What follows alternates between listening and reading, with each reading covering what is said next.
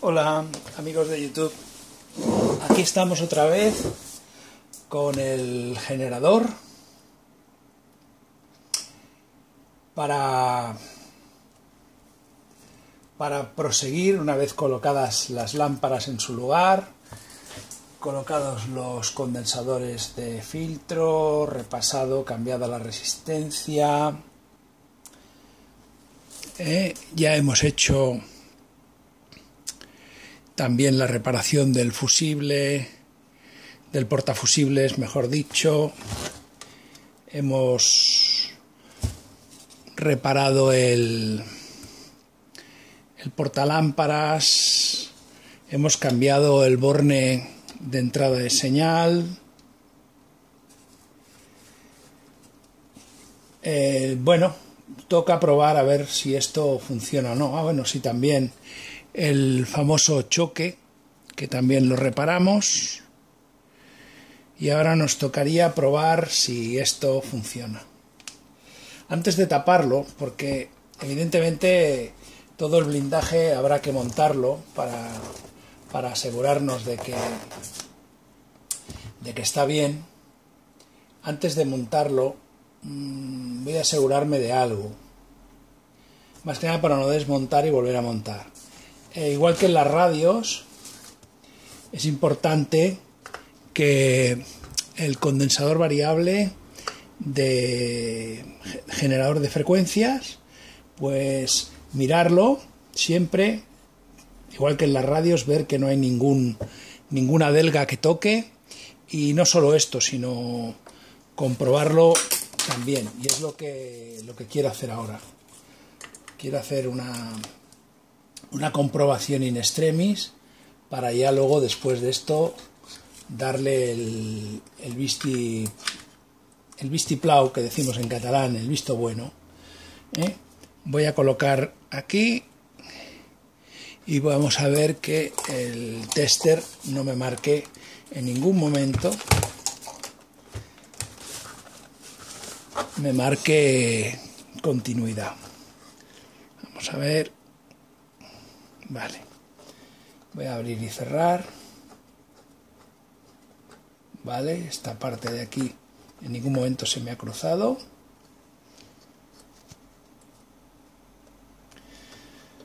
Vamos a probar esta parte de aquí.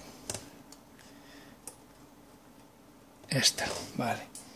Vamos a probarla.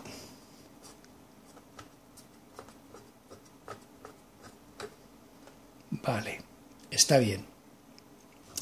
Si, si observáis en algún momento eh, que esto tiene alguna deformación, pues ya sabéis que yo las, las radios lo hago separándolo con, con un destornillador muy suavemente. Pero si lo que pasa es que por un golpe se ha desplazado todo el conjunto de, de las placas móviles, esto se tiene que ajustar por aquí. ¿Eh? Esto se, se afloja esta tuerca y por aquí se avanza o se atrasa y luego se vuelve a fijar con esta tuerca. Y entonces lo que hacemos es desplazar las, las placas móviles sobre eh, las placas fijas. Bien. Vamos a seguir. Voy a poner esto por aquí. Ah, sí. A ver. He encontrado un conector de de los de de estos aparatos, los que utilizaban estos aparatos. Entonces, bueno, quería, si no lo encontraba, iba a hacer aquí algún apaño, pero al final lo he encontrado y bueno, me quedo con este. Vamos a mirar de mantener al máximo la, dijéramos, la, autenticidad del aparato. Bien. Después de repasar más resistencias, que no hubiese ninguna quemada, no he encontrado ninguna quemada, por lo tanto, esto está bien. Entonces nos queda solamente que dar tensión. Para dar tensión eh, he construido muy rápidamente, ¿eh?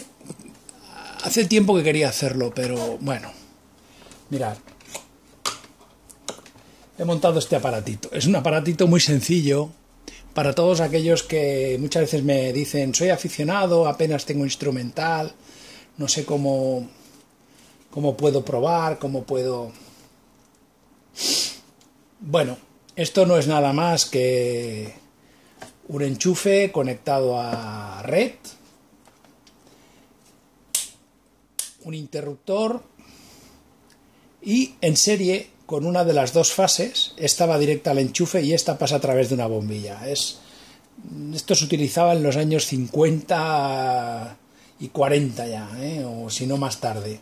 Era para, ¿para qué? Pues mirar, básicamente esto lo que nos, lo que nos permite es eh, cuando conectamos un equipo y no estamos seguros si, va a haber un cortocircuito o va a haber cualquier problema y no nos fiamos pues del diferencial o del automático diferencial que tenemos. ¿eh? Em, yo ahora voy a provocar un cortocircuito aquí en el enchufe. Voy a dar corriente si ahora doy la luz, ¿veis lo que pasa? No se produce ningún chispazo, no pasa nada, solamente se ilumina la bombilla.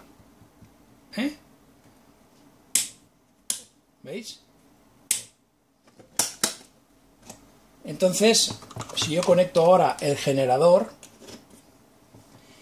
y por algún motivo yo he verificado con el con el tester, ¿eh? Yo la serie la utilizo mucho con este porque es, es muy visual aquí. Yo he verificado, a ver que no tenga esto conectado, sí, yo he verificado que eh, tocando a masa, pues no tengo ninguna fase que,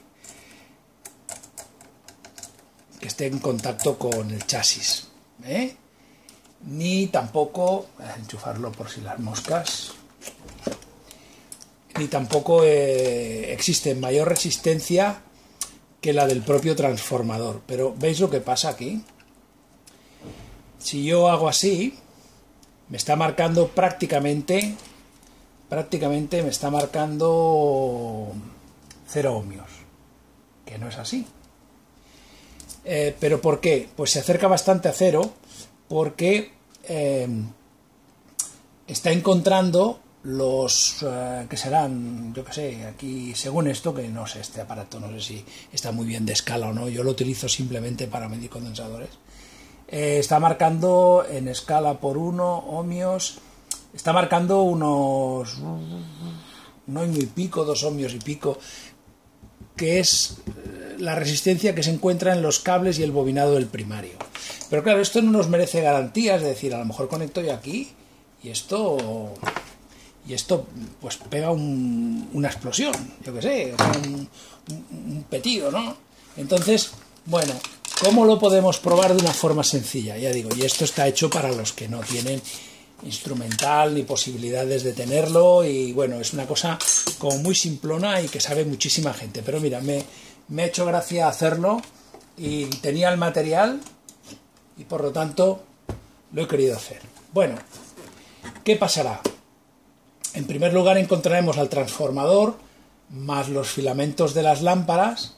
Esto va a hacer que eh, veréis que la lámpara se ilumina un poquito no es como las radios aquellas que, que llegaba el, el 220, el, perdón, el 120 y un polo iba al chasis del aparato de, de, radio y el otro iba a través de todos los filamentos. Ahí se encendía directamente la bombilla y a medida que los filamentos empezaban a, a, a estabilizarse, que no había el golpe inicial ¿eh? de consumo, entonces la bombilla llegaba a apagarse. Aquí voy a apagar la luz no sé si se va a apreciar, a ver si apago esta también.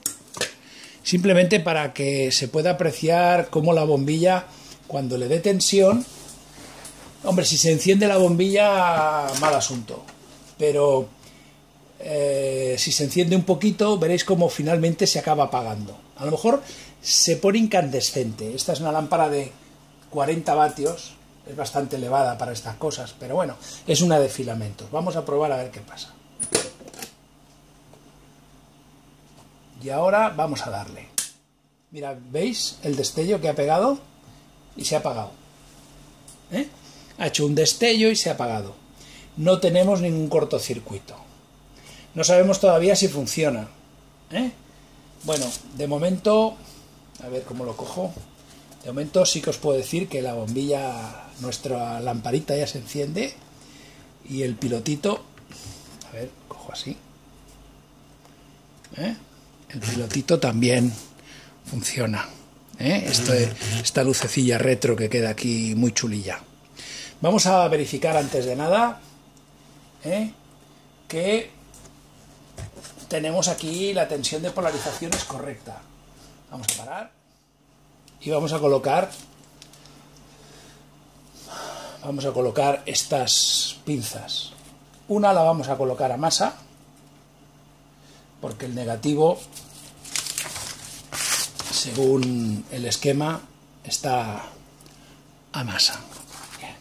Y el otro lo vamos a colocar en eh, aquí. Ostras. A ver cómo me lo monto yo esto. Esto no puede tocar en ningún lado. Vale.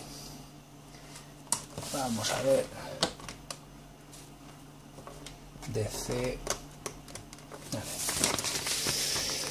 Me tengo que hacer con un soporte. Este aparato se rompió el soporte que tenía y entonces tengo que montármelo en plan muy cutre, como podéis ver.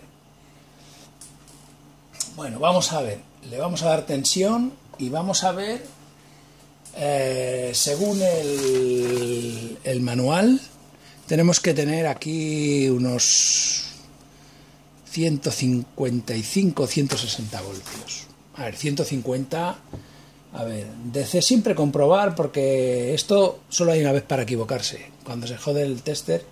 Entonces tenemos 1000 voltios corriente continua, por ir sobrados, aunque con escala 200 también nos funcionaría, pero vamos a probar. Vamos a ver, sí, mirar. Aquí rápidamente ha subido porque el rectificador ha llegado a 200, 100... Siempre hay una cresta, ¿eh? Sube y luego la tensión se estabiliza.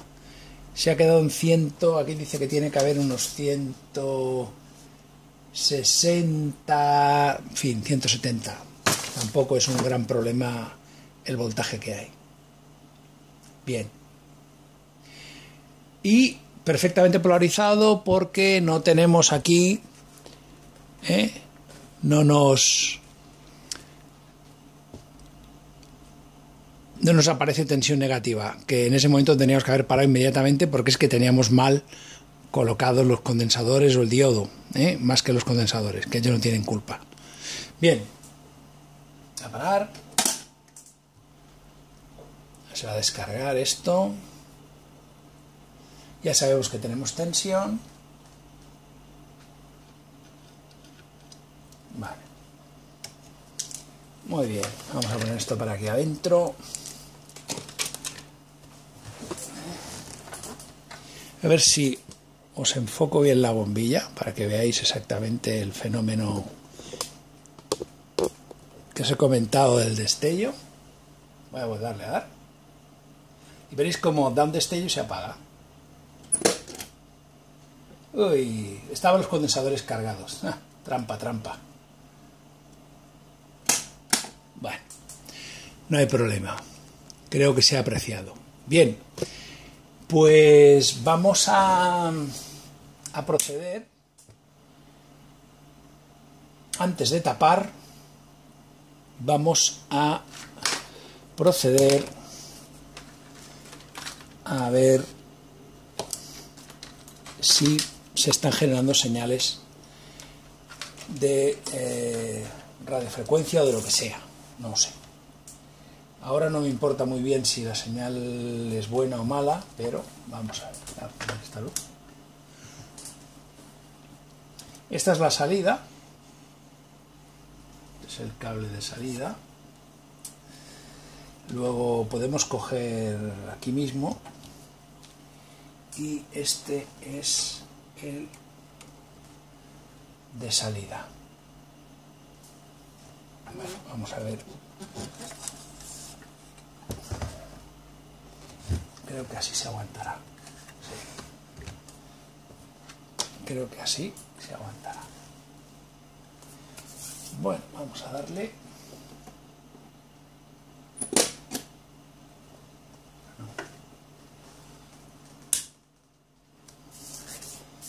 Bueno. Tengo para que para que lo veáis. Ahí tengo el osciloscopio. Mirad, ya nos aparece señal. Esto es señal en... Esto es onda media. ¿Veis? Señal modulada en amplitud. ¿Vale? Y si toco este botoncito, es señal de radiofrecuencia, una frecuencia fija, sin componente continua, perdón, sin ningún componente alterna añadida en amplitud, ¿veis? Y aquí empiezo a darle, empiezo a, darle a este botón, ¿eh? que es el porcentaje de modulación, ¿eh? y tal como voy subiendo, ¿veis? Cada vez, a ver si lo puedo parar. Vale, perfecto. ¿Veis? Aquí supongo que ahora se me variará. Aquí tendríamos una modulación muy bajita y aquí tendríamos una modulación del 75%, porque si llegáramos al 100%, esta parte de aquí se juntaría con esta de aquí y entonces tendríamos sobremodulación. Pero mirar qué señal más, más bonita. ¿eh? Esto es, como varía la frecuencia, no tiene la misma respuesta en toda la frecuencia entonces tiene como unas variaciones de amplitud. ¿eh? Pero tenemos aquí unas variaciones de frecuencia. Luego veremos a ver qué tal se corresponden estas variaciones de frecuencia con eh, la escala. Bueno, esto sería AM. Ahora si paso a RF, ¿eh? si os fijáis aquí, ¿eh? yo ahora estoy en, en AM, ahora voy a pasar a RF y veréis que entonces ya la, modulación ha desaparecido. Ahora aquí tenemos RF pura. Entonces aquí eh, no sé si, claro, esto no sé en qué banda estamos, porque esto... Vale, bueno, por aquí se puede ver un poco. Ahora aquí veréis cómo se estira el muelle o se encoge. ¿eh? Entonces aquí tenemos variaciones de frecuencia, pero no de no está modulada, es una radiofrecuencia pura que se dice, ¿no? Muy bien. Entonces por aquí tenemos también otro mando que es un atenuador, este de aquí. A ver si lo vemos, sí. Vale. Este de aquí que pone atenuador, entonces este de aquí atenúa la señal ¿eh? en microvolts, pues tanto como eso. Este mando, el atenuador en microvolts, es el que tenía, es el que estaba conectado con este de aquí, que es el que tenía la resistencia quemada. ¿eh? Bueno, entonces tenemos aquí el atenuador y ahora vamos a ver el efecto del atenuador sobre la señal, ¿veis? Ahora aquí está voy atenuando, voy atenuando, voy atenuando, ya casi la señal ya es tan pequeña que el osciloscopio la pierde, ¿eh? y a partir de aquí, ¿veis? Hasta 10 eh, microvolts. ¿Mm? Muy bien, vamos a seguir viendo cositas del, del mando este. Mm, si nos vamos a volvemos a la AM eh, aquí estamos viendo la señal pero aquí está hay que verla aquí eh. bien si nos vamos ahí en teoría aquí tenemos una señal de radiofrecuencia que está saliendo por el vamos a ver si lo enseño por este de aquí que tendría que salir con un tono de 800 kilociclos, 700 kilociclos, que es lo que genera el eh, oscilador Colpitts que hablamos. Vamos a verificar si es verdad con el con el comprobador de radios. Vamos a conectarlo aquí y tendríamos que oír la señal que sale. Si es audible, creo que sí. Vamos a ver esto, lo voy a pillar por algún sitio. A ver aquí. Y aquí.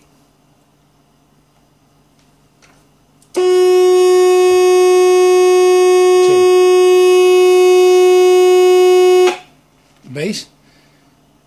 Esto me está generando una señal, una señal en, en onda media ahora mismo y con un tono.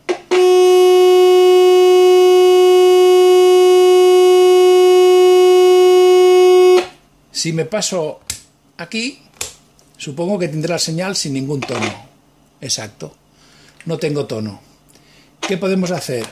Introducir por aquí una señal desde el generador de, de baja frecuencia.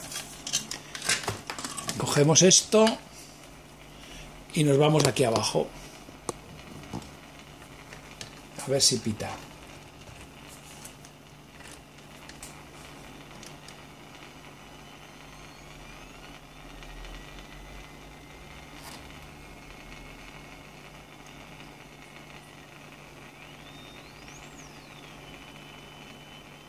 Vamos a ver.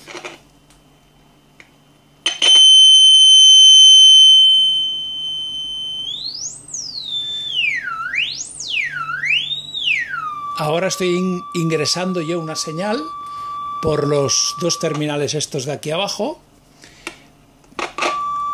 Estoy ingresando señal y ahora el generador funciona con la señal que yo le pongo, que puede ser una señal de un generador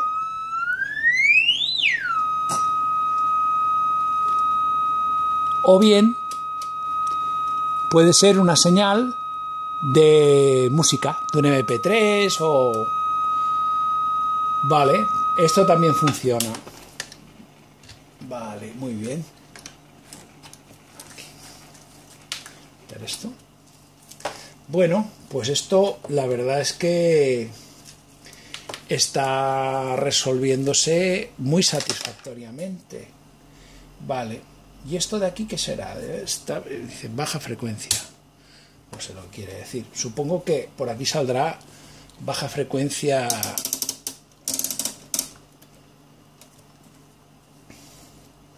Vamos a ver si sale algo por aquí.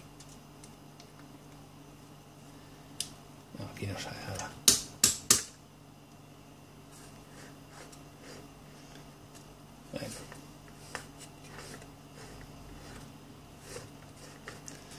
Bueno, esto es la, señal. Vale, a ver si bajo esto un poquito. Vale, ¿veis? Aquí.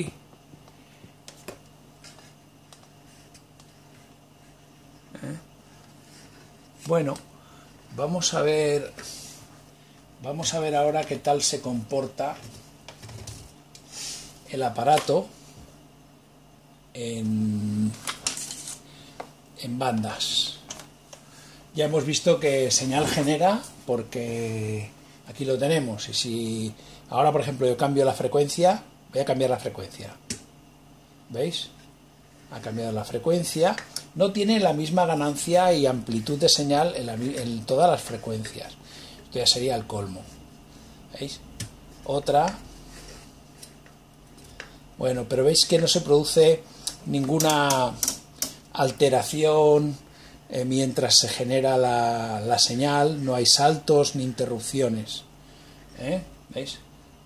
Esta de aquí, llegará un momento que el osciloscopio ya, pobrecito, ya no, ya no da para más. ¿eh?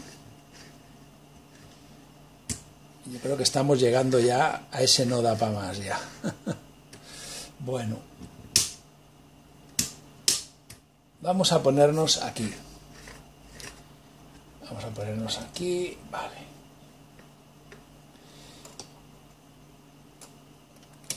Estos son señales, vale, perfecto. Esto, vamos a conectar el, el frecuencímetro. A ver si puedo. A ver si puedo. Vale. Y vamos a ver cómo andamos de, de señales respecto a la, a la escala. Que hay una escala. ¿eh? Entonces vamos a ver un poquito. Eh, ahora aquí vamos a utilizar el, el frecuencímetro ¿eh? para ver exactamente cómo andamos de, de, escalas. ¿Mm? A ver si, si esto concuerda o no concuerda. Bien, pues vamos a vamos a cambiar. A ver, uf, esto no. A quitar esto de aquí. Ya las señales las hemos visto. Ahora vamos a colocar el frecuencímetro.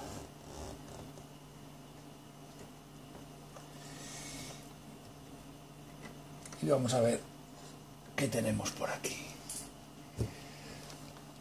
Esto está en señales bajas. Ahora mismo tenemos que pasarnos aquí y tenemos que eh, función función eh,